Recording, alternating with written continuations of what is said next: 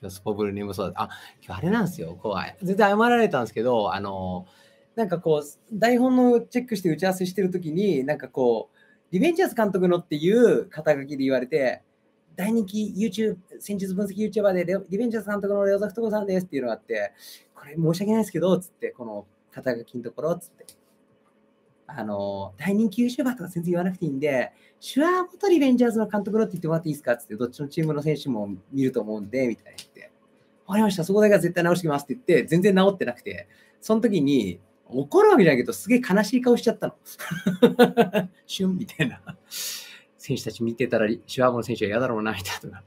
ていうのが、ちょっともしかしたら、あとあの普通にあのモニターの自分の顔見て、うわ、今日熊すげえな、みたいな。それがありましたね。で、終わった後、そのスタッフさんすぐ来て、俺のその顔ですぐ気づいたんだろうね。すいませんでした、みたいな。あ、次からお願いしますって。楽屋にあったおにぎり、ね、4個持って帰ってやりましたけど。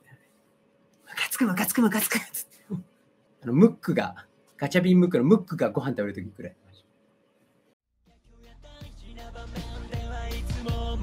もしあなたならばどんな手を取るそれだけで雪が湧き起こる